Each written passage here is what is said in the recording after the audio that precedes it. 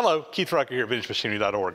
Guys, uh, today I got a little project we're going to be working on, uh, and basically what I'm doing is I'm making a modification to my autocollimator. Now, if you watch my channel regularly, you've seen me use this instrument here it's called an autocollimator, which is used for making extremely accurate measurements on the flatness of a surface.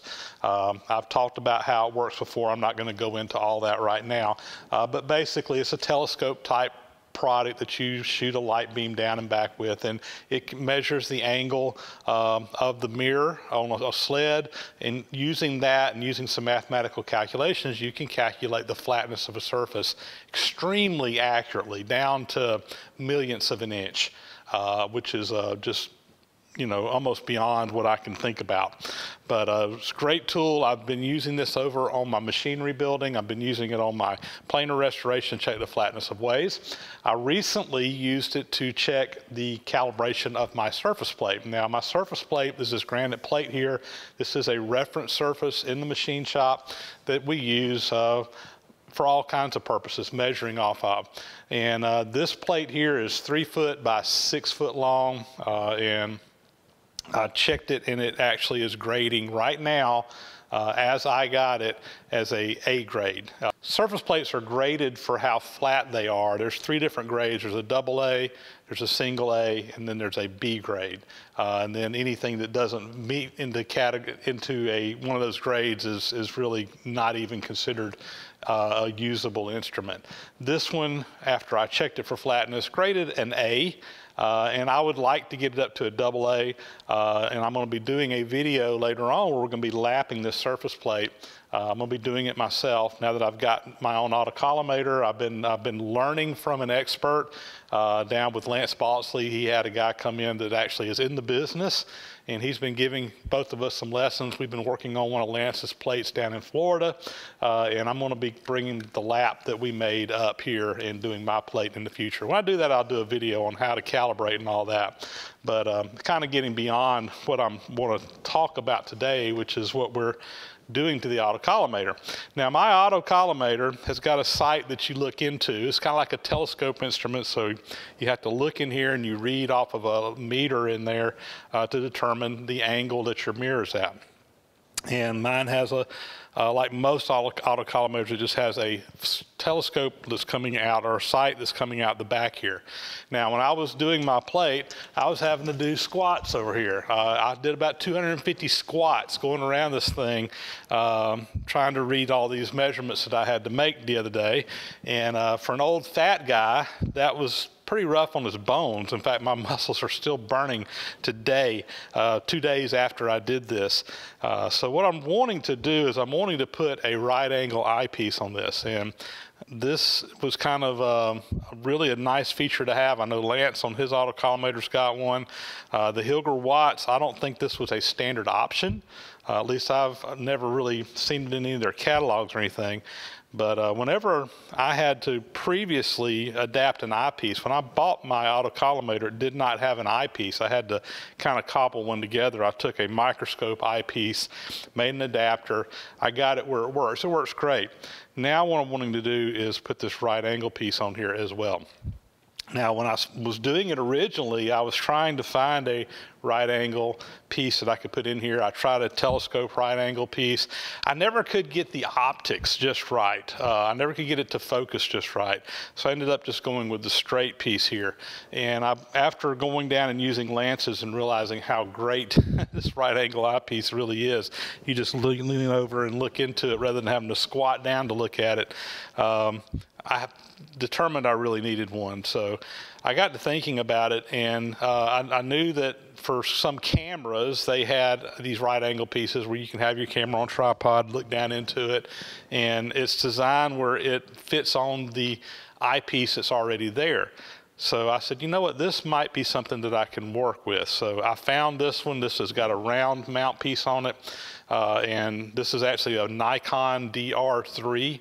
That's an older style. And I just bring it up here and kind of holding it in place. It's going to work perfectly.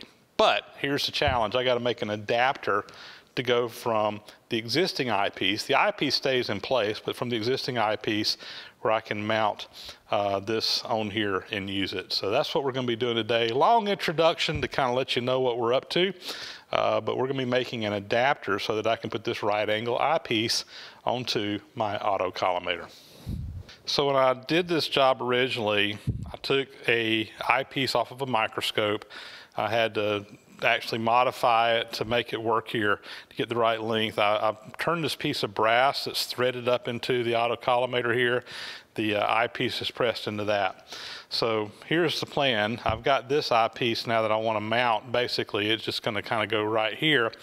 I'm going to make a collar that slides over this piece of brass here. Now, when I made this piece, I purposely made it a little bit larger uh, than the piece out here. This actually is, you can adjust it to focus but uh, I made this piece a little bit larger than this with the idea that I might eventually have to put something, a sleeve over this, exactly what I'm doing now. So I'm gonna make a piece that slides over this. I'll probably put a set screw in there to mount it in place. And then out here in the front, it'll narrow down and we'll, I'm gonna make it to the diameter of this outside piece here and probably again put a set screw in there. This is threaded. It's um, metric thread. Uh, I, I, don't really have a way to cut those internal metric threads. Uh, and two, I was looking at this. This is an old used piece that I got off of eBay, and it looks like someone has dropped this and bent that thread anyway. I doubt that I could get it to start. So um, I'm not too worried about that. Like I said, we're just going to push this up inside of a hole.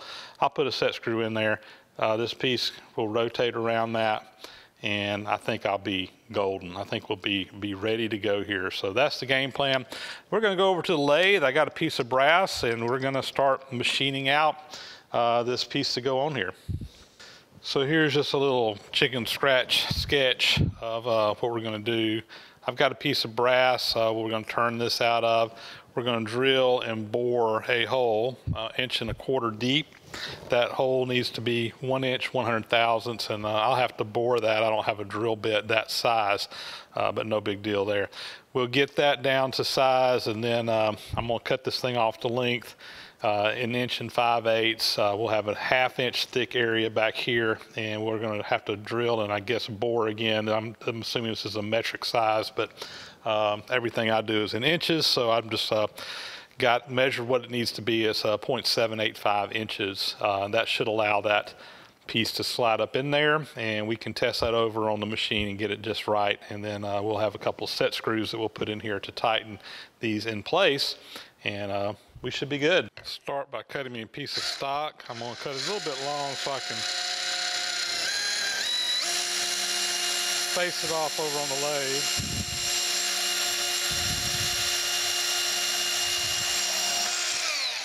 Go. We'll start by facing off the ends of these.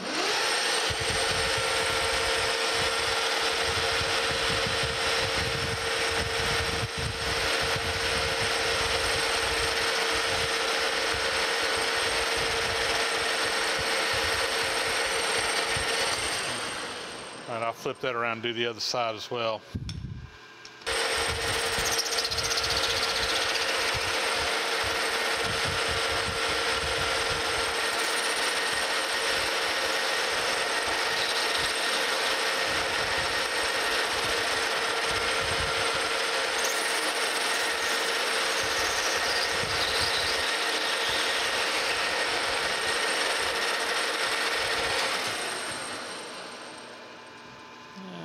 just a little bit more.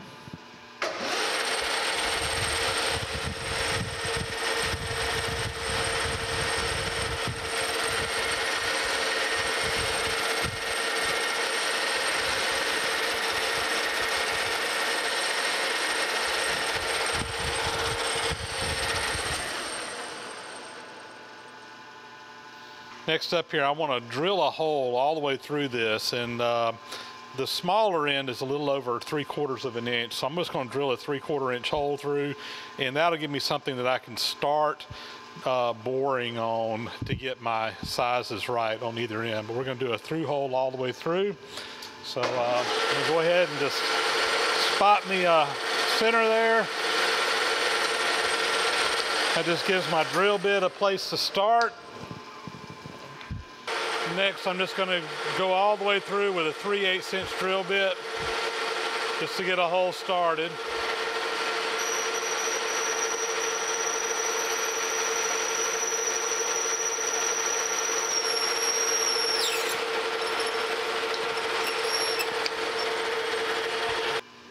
And next, a three quarter inch hole all the way through.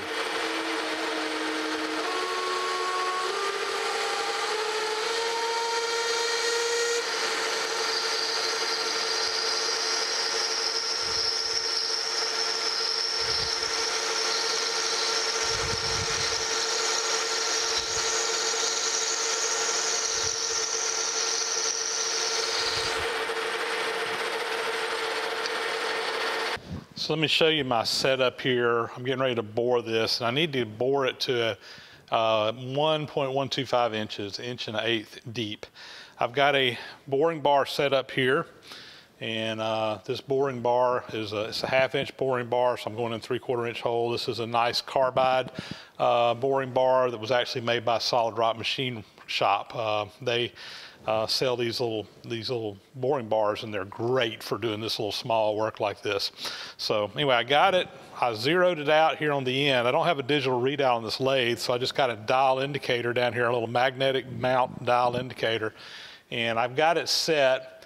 I've, I went ahead and used the dial indicator to measure into my depth, and then I got it to where whenever it hits the indicator and goes up to zero, that's where I stop at. And I'm just going to have to manually stop it. And I'll stop it a little bit short and kind of bump it up to that number. And then uh, we'll have our bore to depth. And we'll just do the multiple passes until we get down to the where we need to be uh, to get that bore done on the inside. So let's, uh, let's get going. But I wanted you to see what I was using for a stop down here so I can see when I need to stop inside that hole where I can't see what I'm doing. All right, we're gonna come in here. I'm just gonna touch off.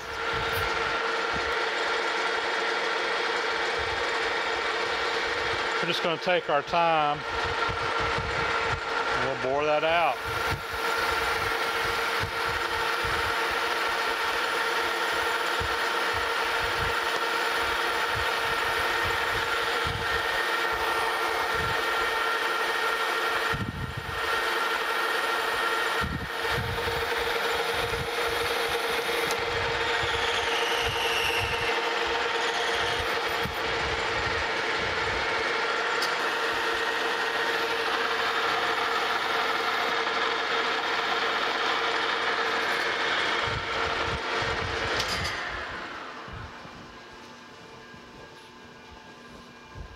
I've got my piece this is going to fit up over and that's actually a good fit right there.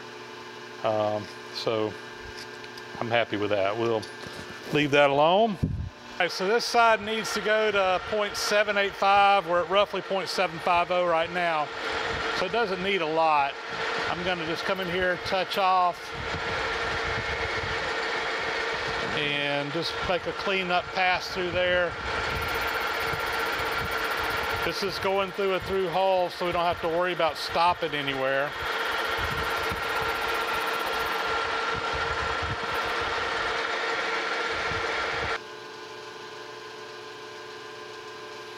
It's about 65, need about 20 more thou on it.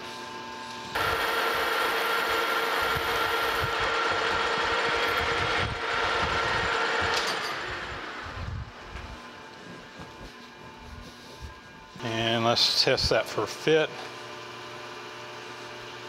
And it looks like I need a little bit more.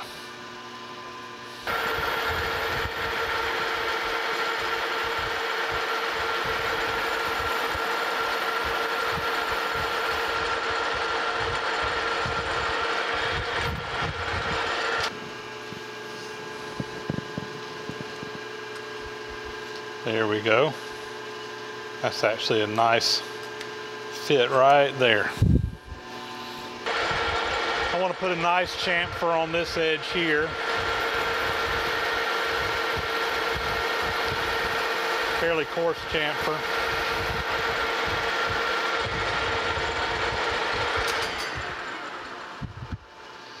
And I'll just uh, deburr the inside of these uh, two bores with my little handy burr. And with that, I think we got our turning done. Next up here, I want to put a couple of set screws in here just to kind of lock that in place. So I've got it over in the mill machine. I need to find the center of this. So I've got an edge finder in the mill. And what I will do is uh, we'll come over here, find the edge of that back jaw.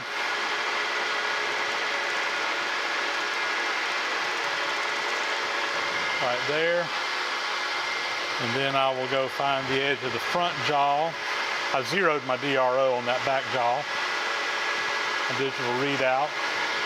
And it's got my, a measurement there. I'm going to take half of that. I'll just use the half function on my DRO. So uh, half, select Y.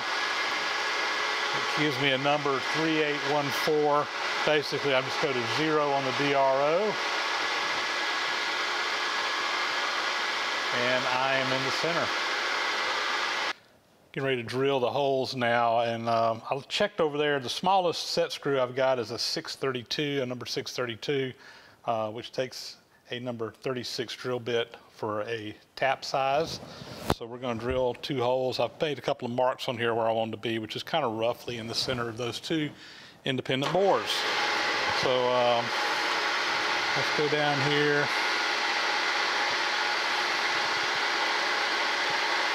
Drill the first hole.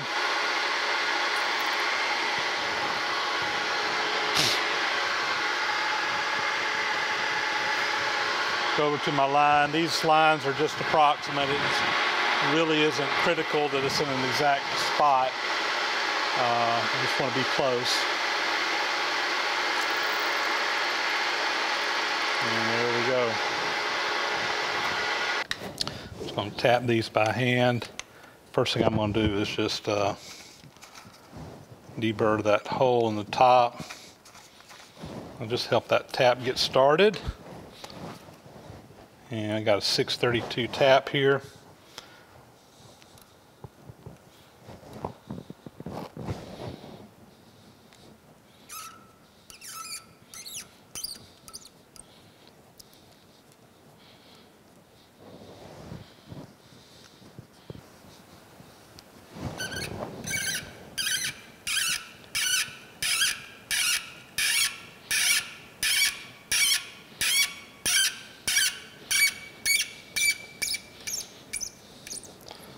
There we go.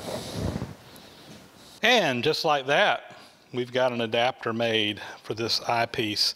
And what a difference this makes. Instead of having to crunch down there to look straight through, I can just lean over now, look straight down in here. It's just a seamless operation. This is a huge, huge improvement to this auto collimator and uh, wasn't too bad. A little short piece of brass, a little bit of time on the lathe. I bought this uh, uh, Nikon angle eyepiece off of eBay used for about 35 bucks, including shipping. Uh, so it's fairly inexpensive upgrade to really turn this into a much more useful um, instrument than it was as it was designed from the factory. So full disclosure here, guys, I will admit that I had to remake this part from the original design.